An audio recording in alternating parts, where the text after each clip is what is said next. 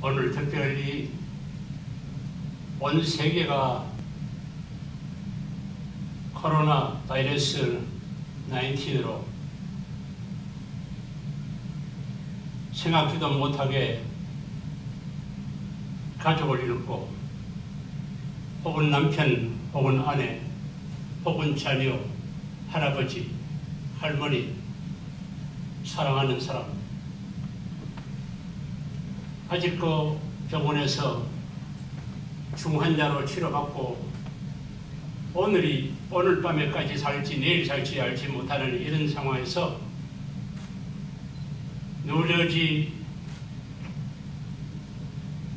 미주 총신 대학 및 선교대학원에서 이렇게 3명이 어려운 이런 때 졸업식을 하게 된 것을 하나님의 은혜요 큰 축복으로 생각합니다. 오늘 사회하시는 우리 박사님이 읽어드린 내용을 다 설교할 수는 없고 특별히 오늘은 내 생애에 가장 짧게 설교해야 되지 않겠나 여러분들의 건강을 위해서도 저와 여러분은 무엇이 있습니까? 자동차 있습니다. 아들이 있습니다. 훌륭하게 자라는 예쁜 딸이 있습니다. 그리고 주택이 있습니다. 호르드 사람 부동산도 있습니다. 그리고 나는 석사고 또 박사입니다. 나는 돈을 조금씩 가지고 있습니다. 명예가 물질과 그리고 사랑하는 가족, 소유하는 것이 다 있기도 하고 없기도 합니다. 그런데 오늘 한국의 한국교회 보면 나라를 공산화되지 않고 자유민주주의 대한민국이 창립될 때부터 정말 하나님 중심, 성경 중심, 교회 중심, 말씀 중심으로 세워진 우리 조국이 위태위태할 뿐만 아니라 심지어 공사나 직전에 있는 이런 상황에서 크고 적은 교회들은 무엇을 하고 있습니까? 어떤 교회들이 나라를 위해서 믿음으로 산다고 하지만은 그 믿음이 야고보서는 행함이 없는 믿음은 죽은 믿음이라 그랬습니다. 그렇다고 해서 행함으로 구원받는 것은 아니지만은 하나님의 뜻을 실현하기 위해서 우리는 순교도 각오하고 고난과 고통과 비방과 멸시를 당하면서도 복음의 빛이 가려워지는 것을 막기 위하여 시대 시대마다 선지자들과 하나님의 종들이 피눈물 나면서 오늘날까지 복음이 증거된 사실을 통해서 저와 여러분이 죄인이 죄인 죄수 같은 저 같은 사람들을 위시해서 하나님을 믿고 구원받아 아무 쓸모없는 쓰레기 같은 인생이 개같이 살 수밖에 없는 인간이 복음을 알고 난 후에 자신이 얼마나 큰 죄인인 것을 깨닫고 나 같은 죄인을 위해서 죄 없으신 하나님이 인간의 몸을 입고 이 땅에 오셔서 나의 죄의 모든 누명을 덮어쓰고 반대로 희생하시며 죽어주시면서 그 죽음과 고통을 이해할 수가 없어서 엘리 엘리 라마 사바다에 나의 하나님 나의 어찌하여 나를 버리셨나이까? 예수님이 생각할 때 자기가 죽어야 될 만한 그런 저주받은 인간이 아닌데 어찌하여 나의 아버지 하나님 하나님 어찌하여 나를 버리시나이까? 그러나 하나님은 아무런 대답이 없습니다. 침묵을 지킵니다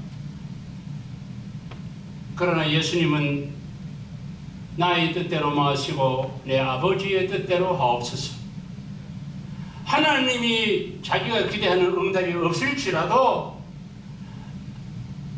자신을 위해서, 가정을 위해서, 세상을 위해서 하나님 옆에 응답 없는 하나님을 불평하지 아니하시고 아버지의 뜻대로 하옵소서. 바로 이것이 뭐냐면 하나님 앞에 부름받은 성직자들의 가져야 할 심성이요, 믿음이요, 생활의 자세인 줄로 믿습니다. 아멘입니까? 마스크를 써서 아멘 소리가 잘 안, 많이 안 들리지만은 마음으로 오늘 여기에 있는 본문 3장의 내용 예수님의 제자들이 예수님이 생전에는 누가 우정성되고 좌정성될까? 자리에 연연하고 시기하고 교만하고 불평하고 했는데 사도행전 1장에 예수님이 분부대로 모여서 함께 10일 동안에 기도함으로 2장에 각각 다른 방언으로 하나님을 찬양하고 찬미하고 함으로 변화를 받아 3장에 하나님의 성령에 이끌려서 그 죄인들 자리나 자기의 위치를 생각해서 감정으로 인간 일생으로 살았던 그들이 놀라운 기적이 나타납니다. 성전 미문에 날마다 다른 사람에게 땅가에 들려서 다른 길거리보다는 성전 미문에 드나드는 사람이 그래도 불쌍히 여기고 돈 1전, 2전, 10전이라도 던져줄 것이다 생각하고 날마다 그 미문 앞에 앉아있다. 그걸 하기 위해서는 네 사람이 단가를 그 안전뱅이를 날때보다 안전뱅이를 싣고 거기까지 와야 되고 또 돌아가야 되고 이런 입장에 있으면서 그곳에 왔습니다. 어쨌든 그래도 교회 다니는 사람이 가난하고 어려운 사람들에게 동정과 긍휼과 사랑이 있기 때문에 그 냄새를 맡고 다른 곳에 안 가고 와셨다 생각합니다. 오늘 우리 교회가 어렵고 힘든 사람들에게 구제를 통해서 하나님의 사랑과 영광을 나타낼 수도 있지만은 오늘 본문 내용이 뭡니까? 베드로와 요한이 나이 많은 제자와 나이 가장 어린 제자가 같이 기도 시간에 성전에 들어갔다. 특별히 이번 졸업식 하시는 분들과 또 가족들, 또 이 자리에 참석하는 우리 교수님들, 저를 위시해서 가장 중요한 것은 뭐냐면 기도 시간을 갖자. 첫 번째. 따라하세요. 기도 시간을 갖자. 그냥 말만 아니고 기도 시간이 있어야 됩니다. 우리 집안에서 그냥 교회 가서 기도하는데 집에서도 기도하기는 하지요. 그러면서 일정한 하나님 앞에 바칠 시간을 정하지 않고 살아가는 사람들이 많습니다. 목사님 저는 안 그런데요. 그렇게 하지만은 사실은 실천하는 사람이 부족치 없습니다.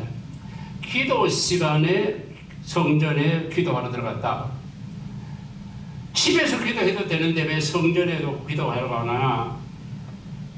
코로나 19 때문에 성전에서 기도도 못하게 하고 성전에서 예배도 못 드리고 성전에 침례도 못하게 하고 제 이 세상에 출생 이후에 그런 일은 처음입니다.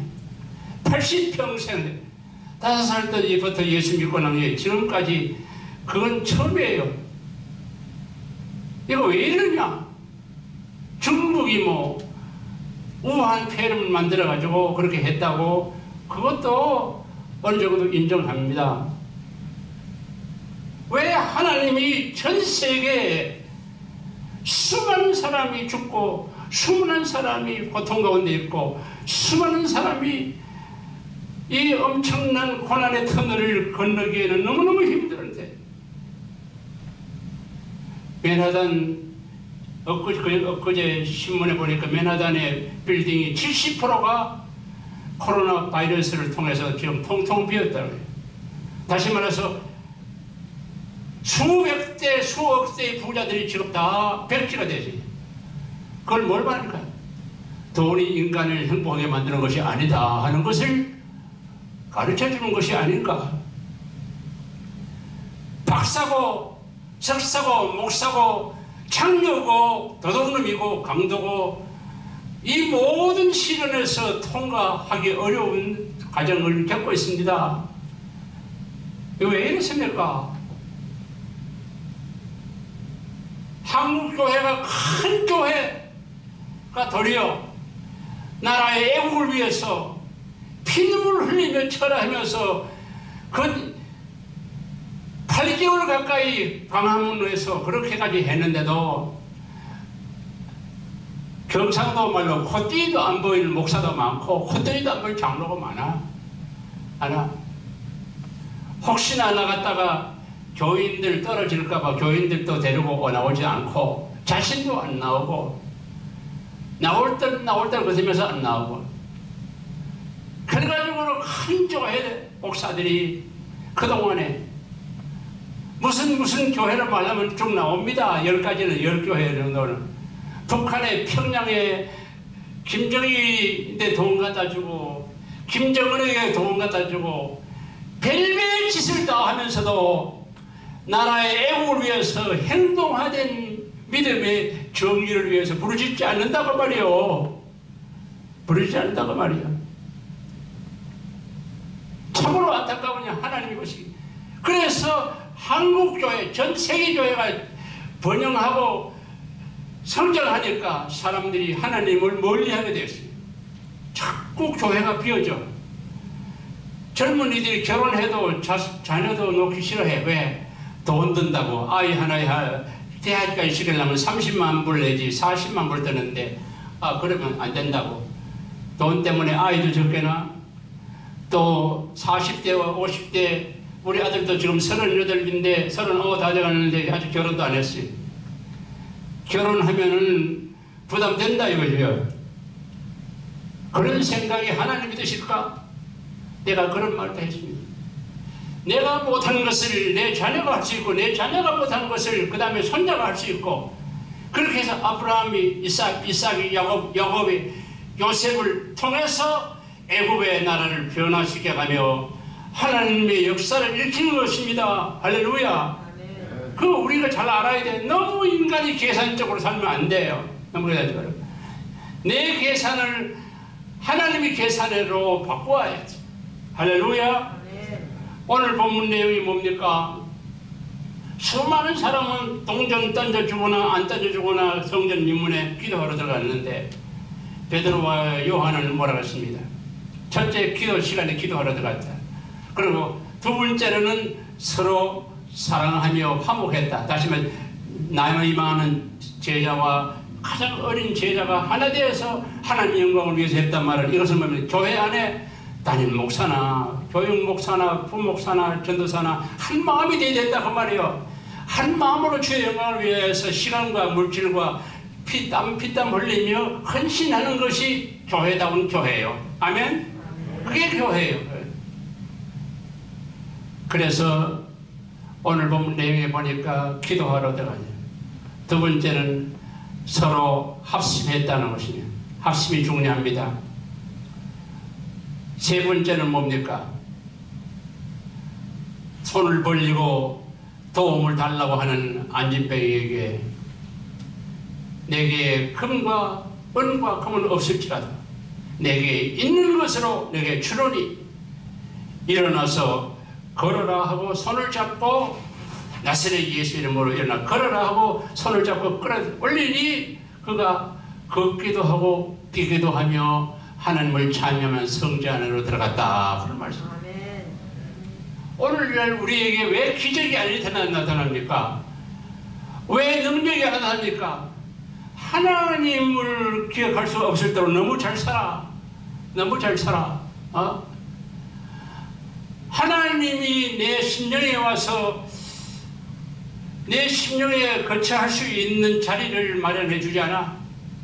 내 심령은 돈, 성공, 명예, 자녀, 재산 이런 것들이 꽉 차서 주님이 내 심령에 와 머물 수가 없어. 그러니까 뭐냐 입으로는 하나님 성령 믿습니다고 말하는데 능력이 안 나타나는 거예요. 베드로와 요한은 은과 금은 없을 거니와 내게 있는 것으로 어느 게 주노니 곧 나세의 예수의 이름으로 일어나 걸어라. 할렐루야.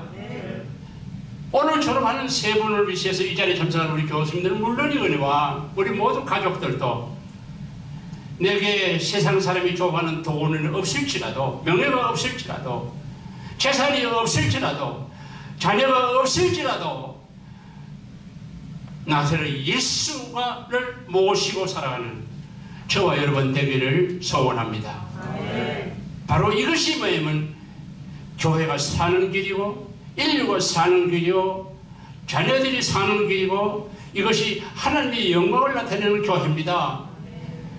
성령이 함께하지 않으니까 역사가 안 나타나는 거예요. 내게 있는 것이 뭐냐? 돈, 명예, 학벌, 그리고 아들, 딸. 그것이 능력이 나타나는 거 아니에요. 그러나 베드로와 요한은 내게 있는 것으로 내게 저를 제가 이 설교를 뉴욕 빌립보 교회에 34년 전에 34년, 32년 전에 제가 청정받아서 설교할 때 이 설교를 했습니다. 제가 한국에서 서울에서 또 대전에 지금은 그 대전 가장 세종시티가 됐지만은 그때 당시에 제가 전도사로 신학교 졸업하고 전도사로 오라 그러는 데가 없으니까 내가 교회를 지은 그 교회 내 전임자가 전남 앞에도 사람인데 그 사람이 목회를 한 3년 하려다가 그 교회를 금산에 가지고 미군 부대 가지고 나무 껍 나무 그 자르고 난 후에 껍데기 그거 갖다가 집을 지어가지고 그렇게 지었는데 한 요거보다는 조금 적거나 그렇게 지었어요. 그런데 그 목사님이 철학기도 하고 마늘 검색기도 하고 막 그러는데 결혼해가지고 사모님이 아기를 낳는데 자기는 철학기도 하고 기도만 하고 어 눈물로 마늘 기도만 하고 그러는 거예요. 교인 한 10명, 15명 이렇게 보이대 그럽니다. 사모님이 25살 먹었는데 낳았는데 첫 아기를 넣고 방이 방구들에 불이 안 들어와가지고 아무리 떼도 연기만 나고 방이 차가가지고 아이를 낳았는데 그만 아이하고 엄마가 15일 만에 죽었습니다. 왜? 너무 찬방에서 지내니까 하혈을 하면서 아이도 죽고 엄마도 죽고 그래서 그 최전도사님이 거기서 못 있고 다른 데로 이동돼서 교회가 비어 있으니까 누가 갈 사람이 없으니까 제가 갔습니다. 제가 군대 마치고 결혼하고 거기 가서 시작했습니다. 10명, 15명 모이는 그곳에서 지붕도 스레트로 해놓고 이게 위가 없어요. 안 가려져 안 해놨어요.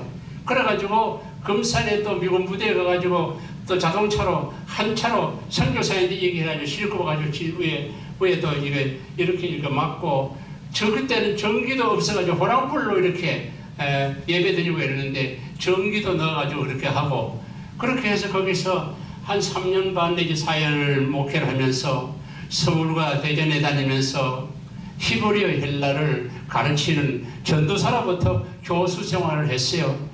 그래 하면서 그때 경찰서 순경이 5,500원 받았는데 저는 어, 교회에서 월급을 1,500원 받고 하루에 연탄 두 장씩 받았습니다.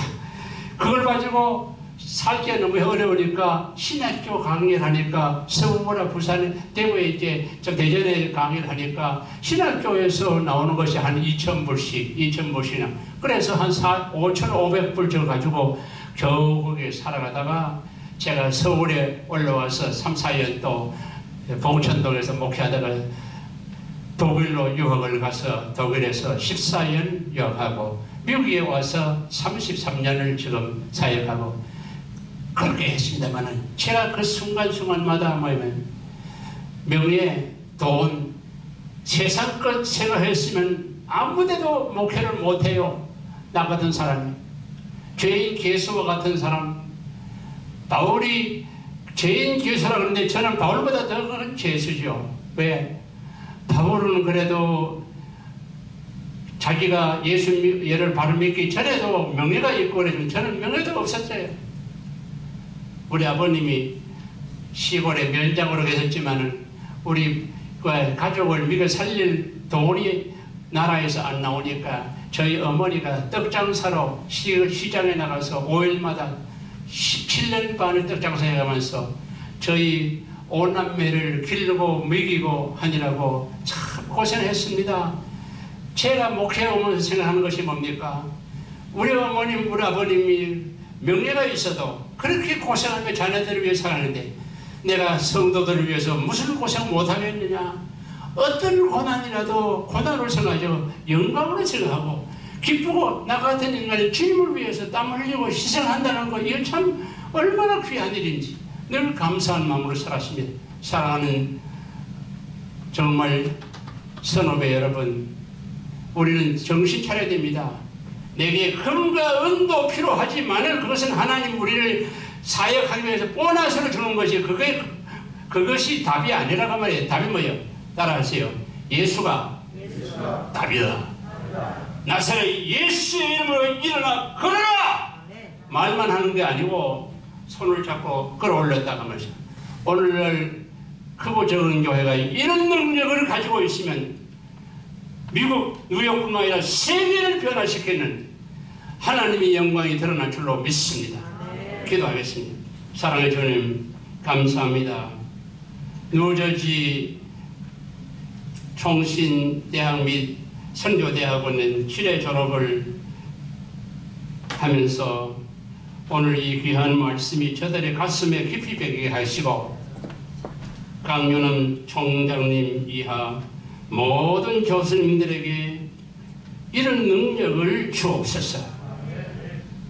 베드로와 요한 같은 비록 세상 사람들이 부러워하고 좋아하는 금과 은은 없을지라도 명예가 없을지라도 자녀들이 없을지라도 나사렛 예수 그리스도 이름을 불행한 사람에게 던져줄 줄으로 기사와 이적이 일어나는 우리 모든 동문들, 졸업생들, 가족들 되게 하여 주옵소서. 예수님 이름으로 감사하며 기도합니다. 아멘.